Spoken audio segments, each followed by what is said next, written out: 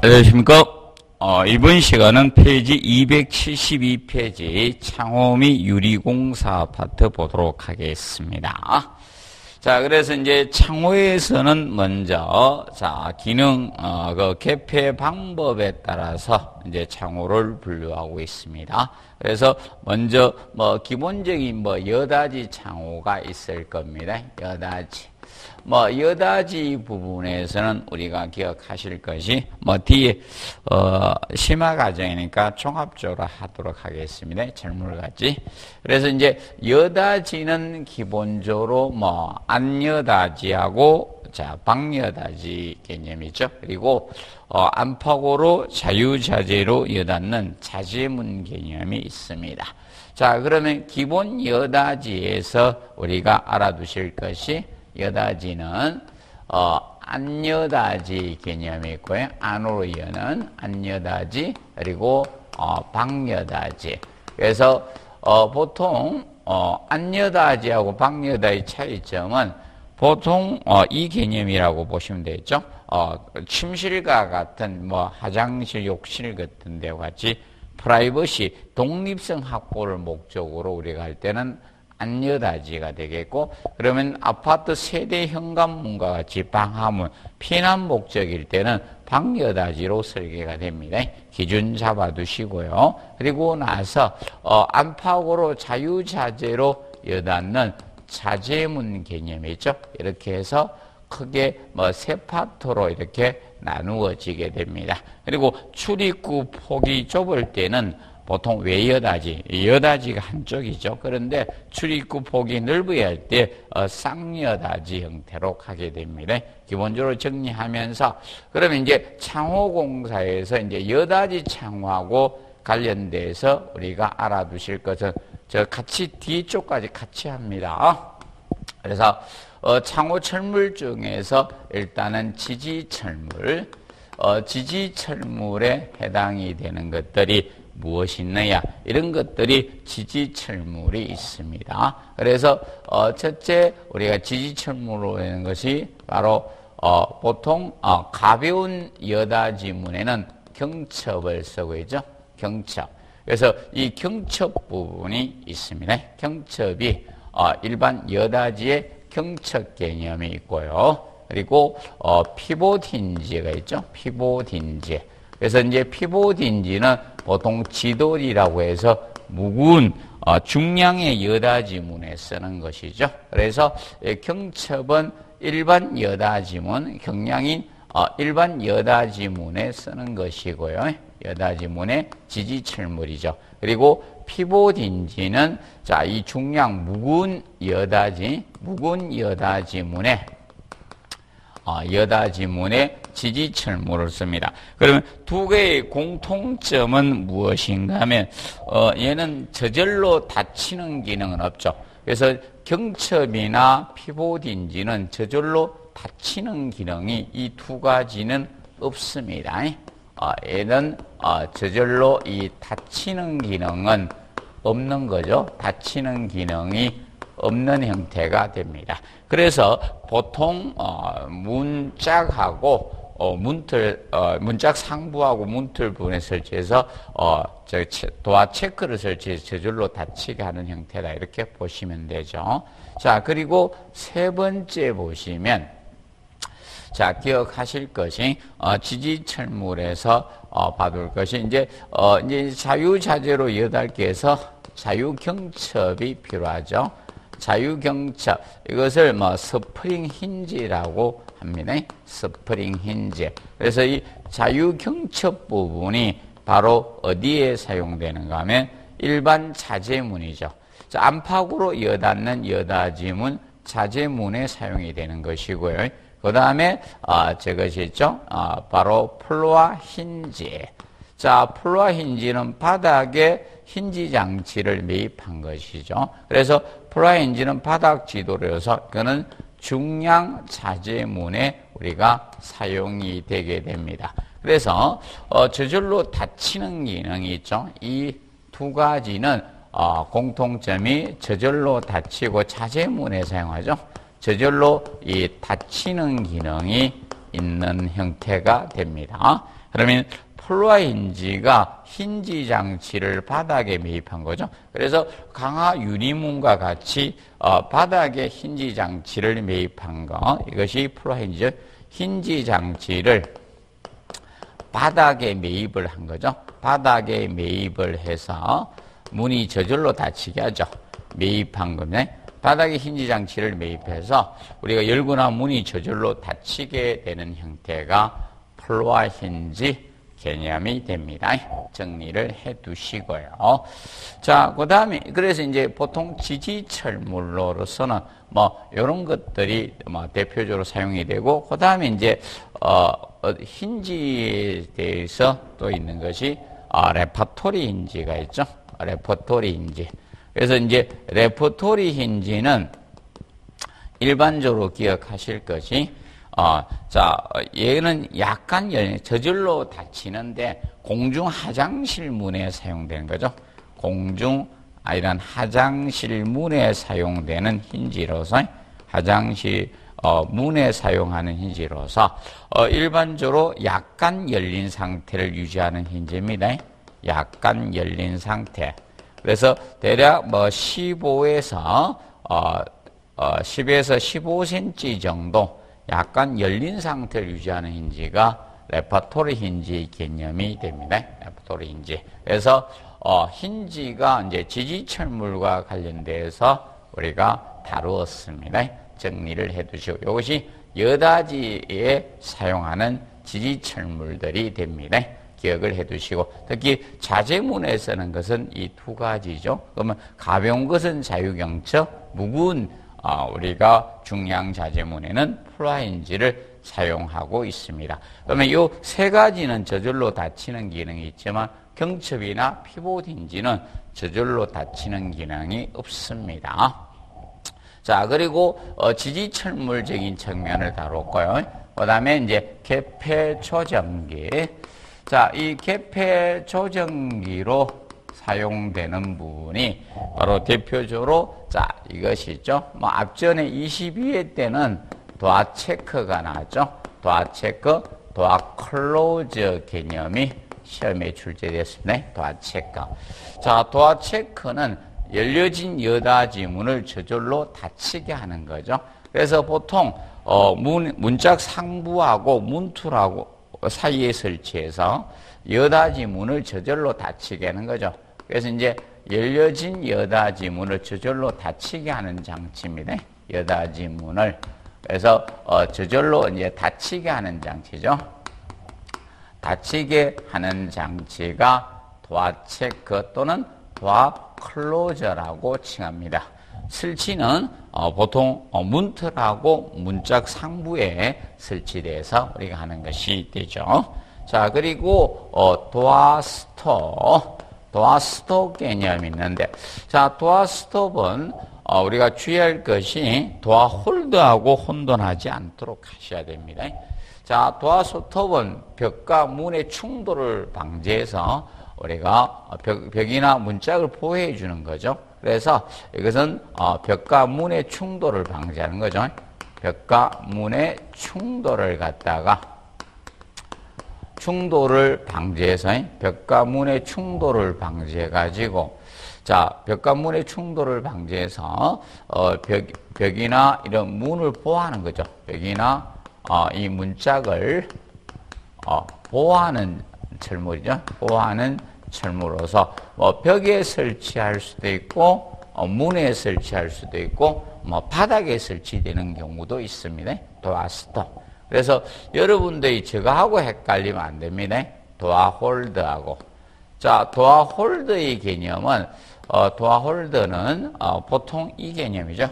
열려진 문을 제자리에 고정시키는 거죠. 그래서 말발굽이 door hold입니다. 그래서 홀드업은 열려진 여다지 문을, 열려진 여다지 문을, 어, 고정시키는 거죠. 고정시키는 것이 시키는 거죠. 시키는 철물이 바로 도화 홀더의 개념이고요. 혼돈하지 않도록 하시면 됩니다.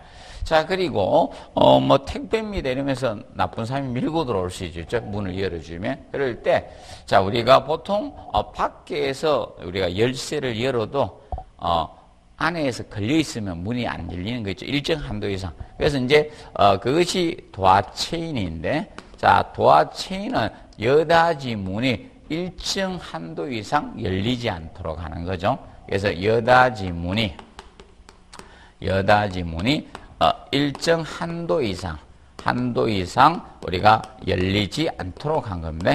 열리지 않도록 하는 철물이죠. 않도록 하는 철물이 바로 어, 도화체인 개념이 됩니다. 도화체인. 그래서 이제 개폐 조정기로서는 어, 이런 것들이 있습니다. 정리해 두시고 그리고 우리가 이제 어, 잠금 장치들 자물쇠 용도 잠금 장치 자, 여닫이문의 잠금 장치로 쓰이는 것이 뭐 대표적으로 자, 이제 실린더 자물쇠가 있죠. 실린더 자물쇠. 자, 실린더 자물쇠는 자, 이런 형태가 됩니다. 자, 보통 열쇠로 열어도 이제 문을 이제 손잡이 둥근 것을 잡거나 손잡이를 이렇게 돌려서 여는 형태를 우리가 실린더 자물쇠라고 합니다.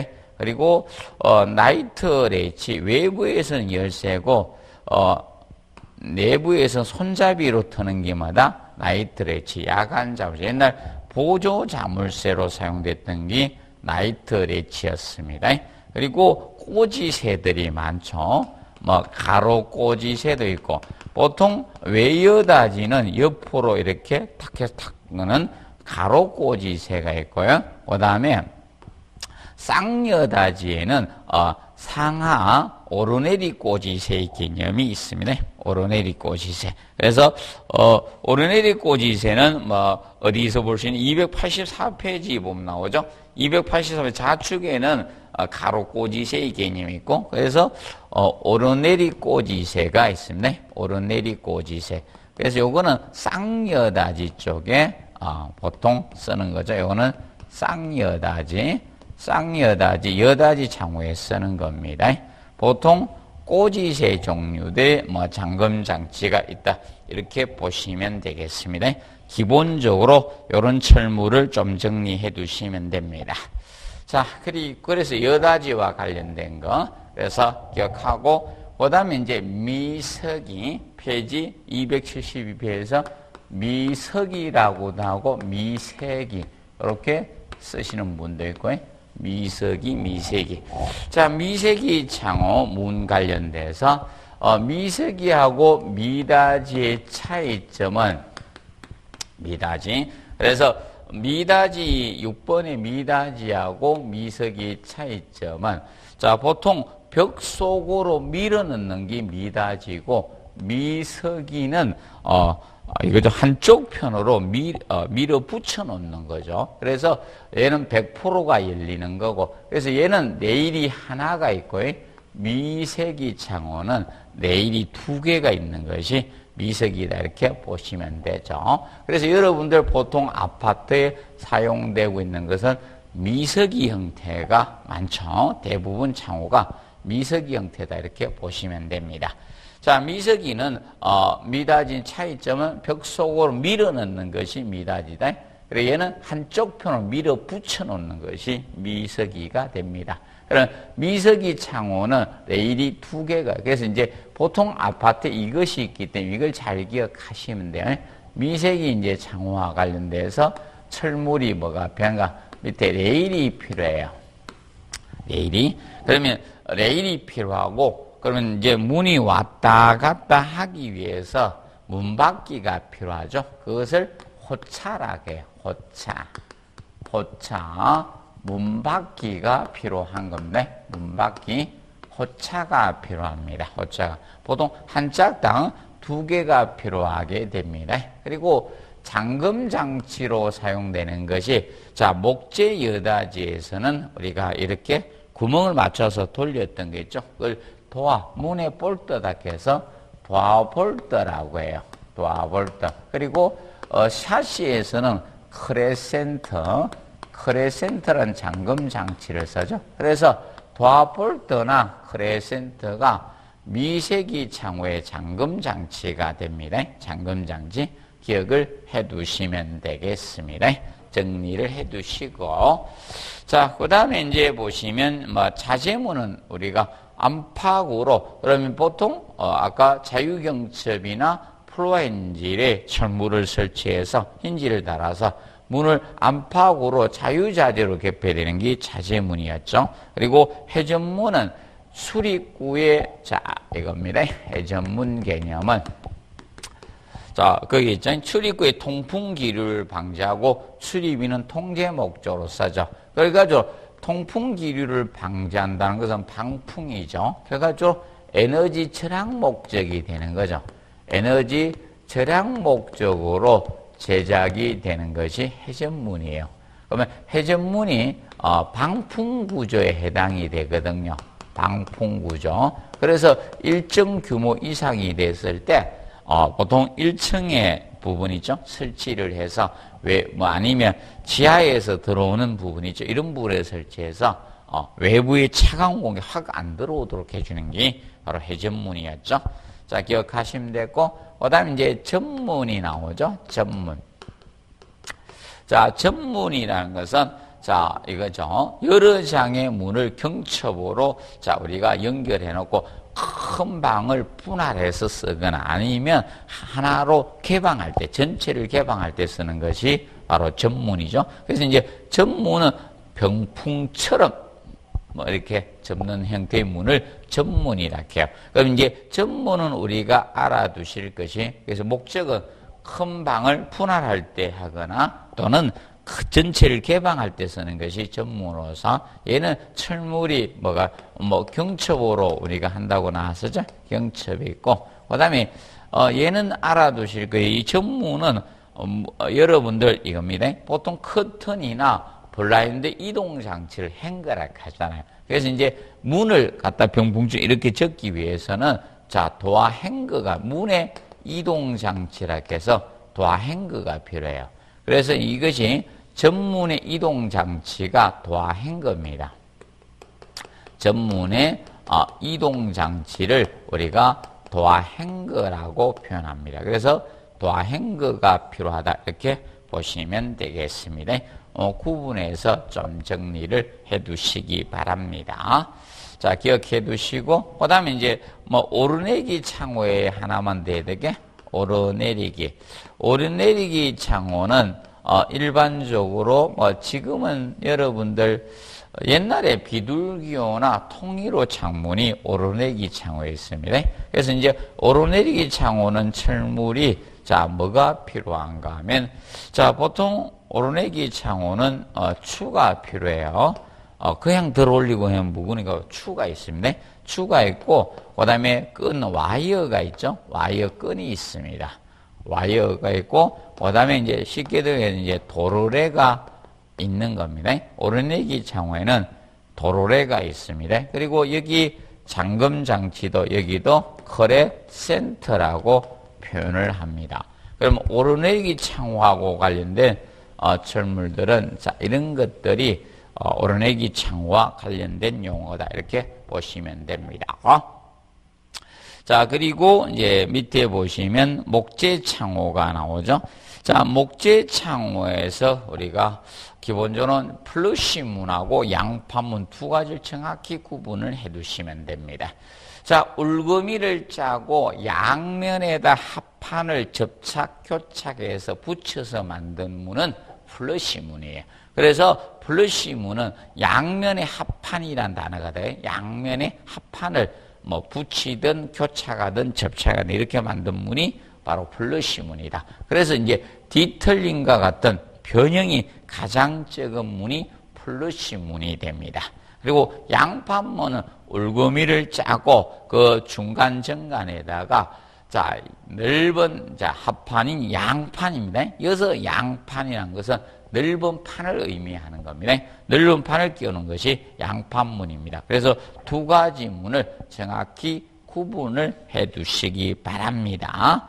자, 그리고 275페이지 보시면 부재 명칭과 관련돼서 마중대, 염임대를 정확히 구분해 두시면 돼요.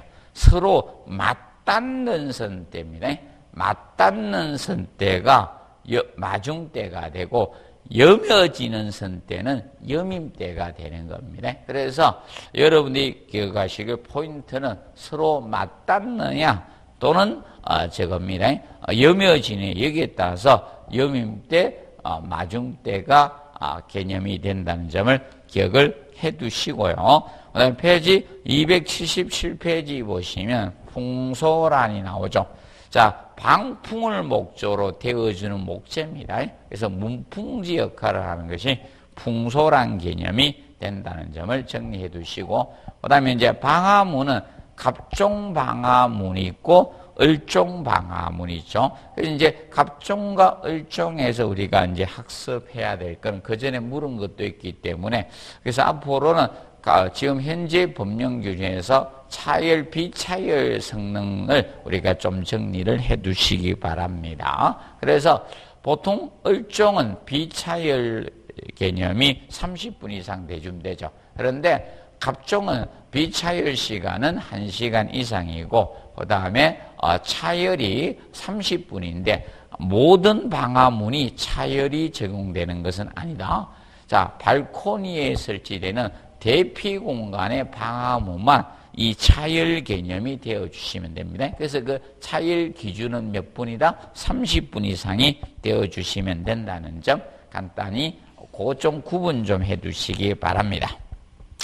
자, 그리고 뭐 철제 창호에서 우리가 알아두실 때는 어 거기에 뭐 저기 있죠? 어 278페이지 하단에 주름문. 주름문은 279페이지 그림이 나옵니다. 그래서 기본적으로 열고 닫을 때 이렇게 되면 뭐 창살처럼 됐다. 저 보면 이렇게 돼 있죠? 이것이 주름문입니다. 그래서 이제 주름문은 자, 도난 방지 목적으로 사용되는 문이죠. 도난 방지 목적으로 주 사용이 되면서 자 이거는 닫아도 됩니까? 어, 햇볕 같은 거 공기는 다 들어와요.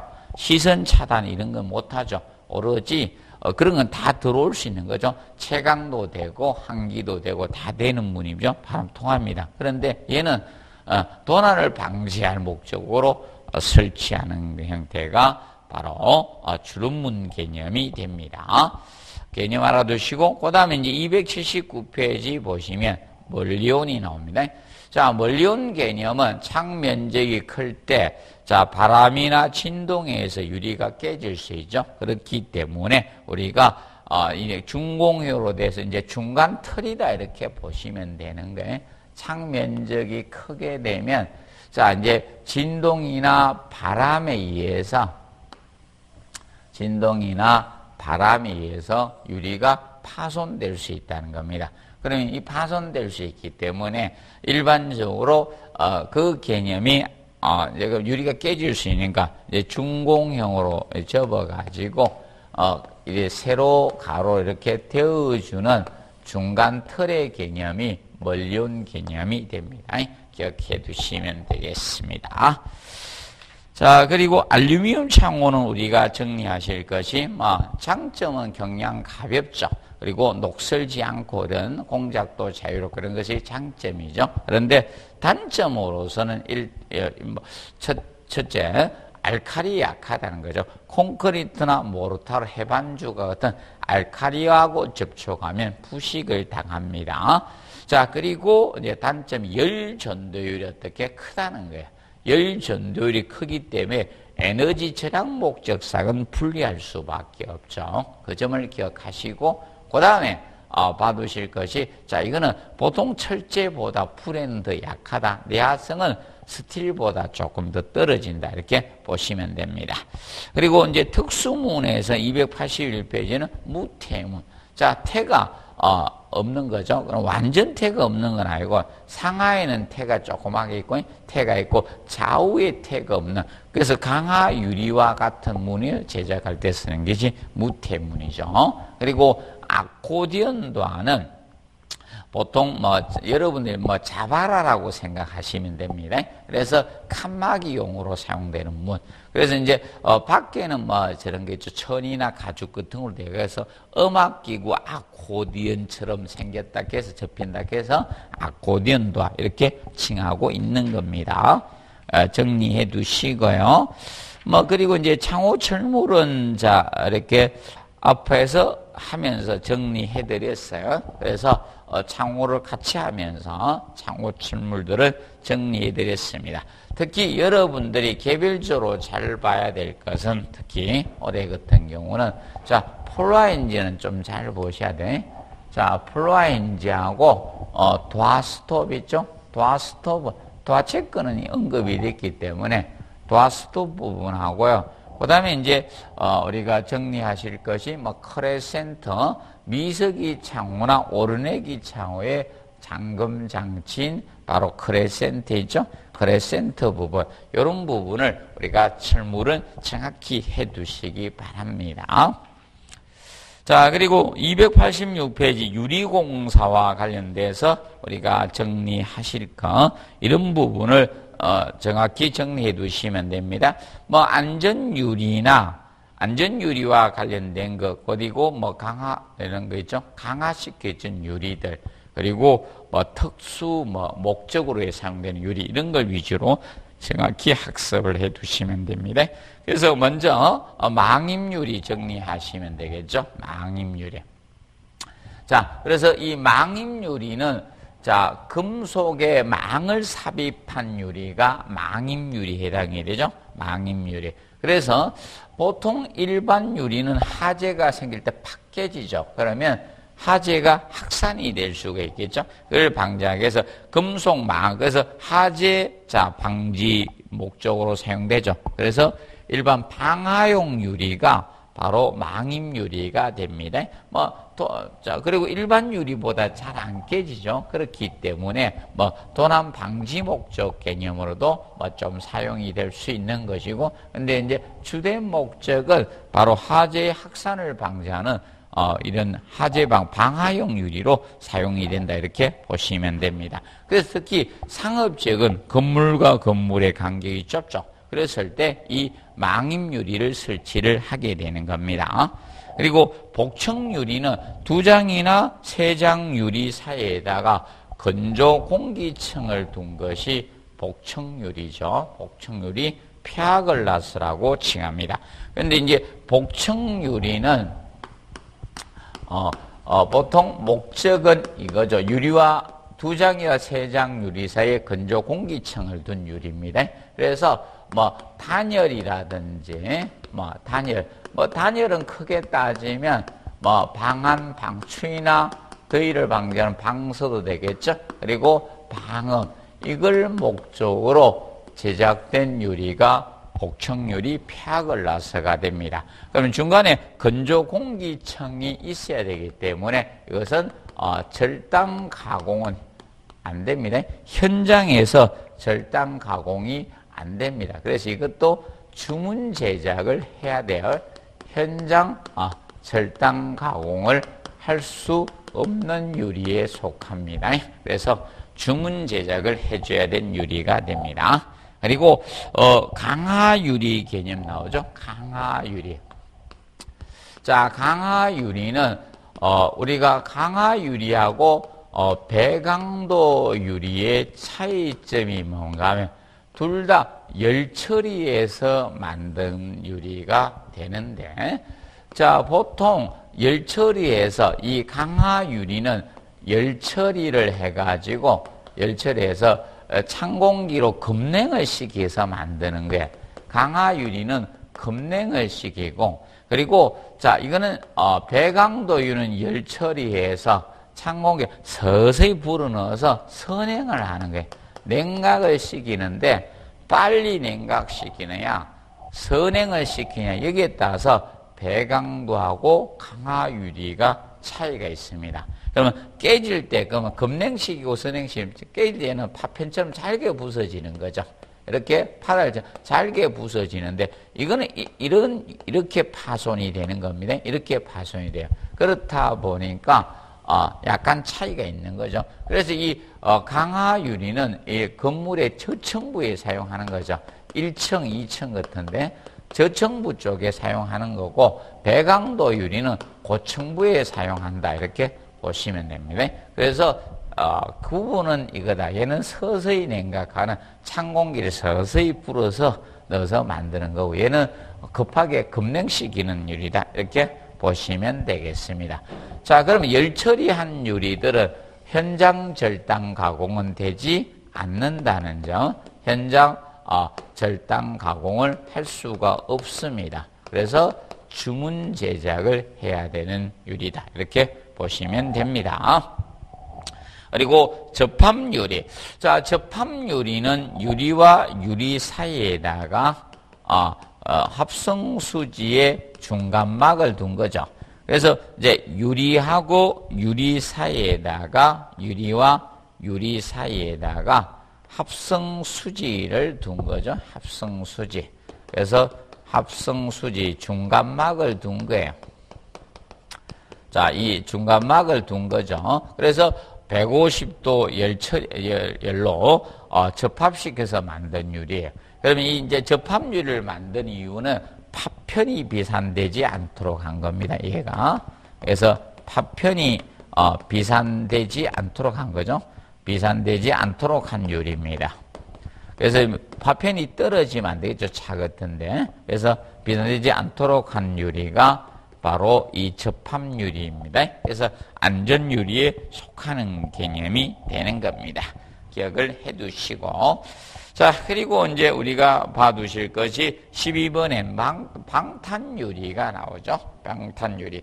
그러면 방탄유리는, 자, 일반적으로 그 함유리란 것이 바로 접합유리예요. 그래서 강화유리를 접합, 함유리화 시키든 접합유리화 만든 아니면 일반적으로 저겁니다. 굉장히 여러 장의 유리를 합성수지 넣고 여러 장을 겹쳐서 만드는 거예요. 저것이 어, 방탄유리 개념이 됩니다. 기억을 해 두시고.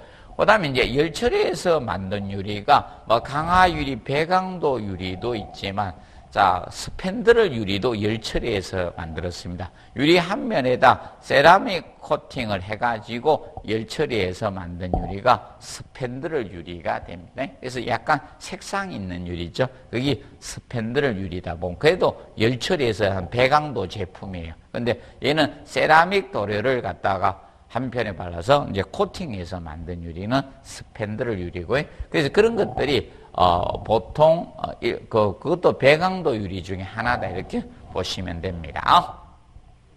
자 그리고 287페이지 13번에 로이 유리가 나옵니다. 로이 유리. 자 로이 유리는 우리가 알아두실 것이 로이 유리. 자, 로이 유리는 일반적으로 자, 유리와 에너지 절약을 목적으로 제작된 게 로이 유리죠. 그래서 로유리는 여기에다가 아, 저걸 했습니다. 은으로 코팅을 해 가지고 은으로 코팅을 해서 어, 보통 어, 이제 이제 태양이 떴을 때 태양이 떴을 때 일반 빛이 들어오게 될 겁니까? 그러면 어, 반사하는 것이 무엇이 되는가 하면 어, 열 적외선 자 열선 또는 적외선이라고 하는데 시방세에서는 열적외선 언급이하고 그죠? 그래서 열적외선 열적외선의 반사 빛을 반사는 반사율은 높인 거예요. 그런데 자, 이 적외선이 이 들어오는 것을 방사율이야. 이렇게 뚫고 들어오는 것을 방사율. 방사율은 낮춘 거예요. 방사율. 반사율하고 방사율하고 헷갈려보네. 어, 들어오는 것이 방사율이고 그래서 이제 어, 이거는 반사율은 높인 겁니다. 기억하시고 그리고 어, 이제 가시광선의 투과율은 높인 겁니다.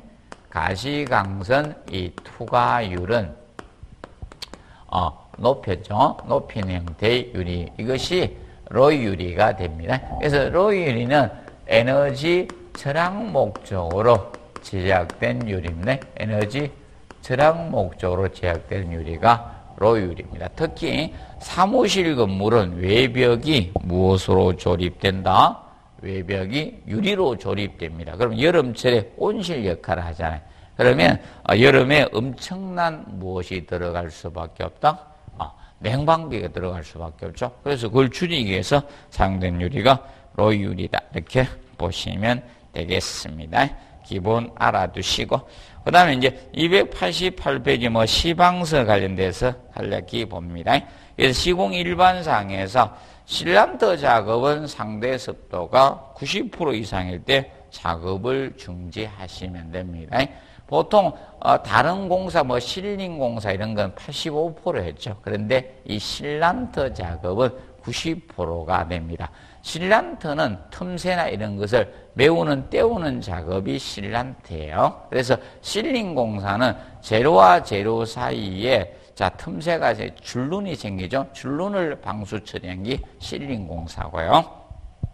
그리고 배수 구멍은 기본 오메 두개 있으면 되죠. 그래서 잘 모르면 우리도 콧물 흘리는 구멍 두 개, 눈물은 두 개죠. 그래서 기본 두 개가 필요하다 이렇게 보시면 됩니다. 그리고 운반비 보관에서 복층유리는 20매 이상 적치하는데요. 자, 복층유리는 유리와 유리 사이에 공기층을 두고 있죠. 그리고 굉장히 무거워요.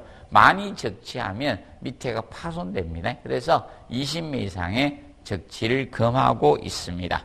그리고 유리를 절단할 때는 약간 짧은 치수 1.5에서 2mm 정도 짧은 치수로 절단해야 돼. 정확히 절단해서 넣으면 깨져요. 안 들어갑니다. 그래서 1.5에서 2mm 짧은 치수로 절단합니다. 그리고 이제 거기 뭐 가스켓이라고 뭐 발음을 하다 최근에 자는 이겁니다. 정확히 발음하는 사람들이 있기 때문에 정확한 발음은 게스킷입니다. 게스킷. 게스킷입니다. 그래서 가스켓 게시킷은 명심하세요. 유리를 고정하는 성형 제품이죠. 유리를 고정하는 제품입니다. 유리를 고정시키는 제품이에요. 고, 고정시키는 제품으로서 얘는 자 정형이죠. 정형 또는 성형이라고 합니다. 예, 공장에서 제품을 만들어서 나온 고무 제품으로 나온 거죠. 그래서 부정형이 아니에요. 자, 부정형이란 것은 이걸 부정형이라고 합니다. 자, 액상으로 주입해가지고 형상을 갖추는 것. 그러면 실리콘 이런 게 부정형이고요. 그래서 게스킷은 정형이다. 이것을 기억하시면 됩니다. 그래서 유리 한 면은 부드러운 가스, 게스킷, 다른 면은 뭐다? 어, 견고한 거 써주면 됩니다. 그리고 어, 이제 가스켓, 게스킷을 자를 때는 명심해 줄 것이 각 변의 길을 약간 길게 잘라요. 기억하시면 보통 유리 절단은 짧게 자르지만 가스켓, 게스켓은 약간 길게 자르고요. 그 다음에 어디부터는 다 중앙에서 모서리 쪽으로 끼어 나간다는 점을 우리가 기억을 해 두도록 해 두시면 됩니다. 그리고 뭐 용어 정리에 거기 해놓은 거뭐 간략히 봐두시기 바랍니다. 어, 정리를 해 두시고요. 특히 거기 뭐 4번에 보면 세팅 볼록 나오죠.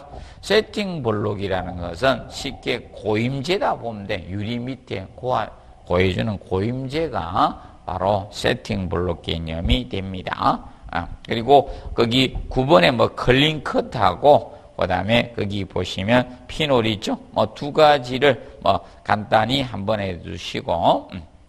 그래서 어, 유리는 뭐 유리 창호 및 유리 공사는 그래서 이것으로 마무리하도록 하겠습니다. 어, 잠깐 휴식하고 294페이지 어, 수장 공사 파트 뭐 간략히 하도록 하겠습니다. 어, 유리는 뭐 유리 창호 및 유리 공사는 그래서 이것으로 마무리하도록 하겠습니다. 어, 잠깐 휴식하고 294페이지 어, 수장공사 파트 뭐 간략히 하도록 하겠습니다.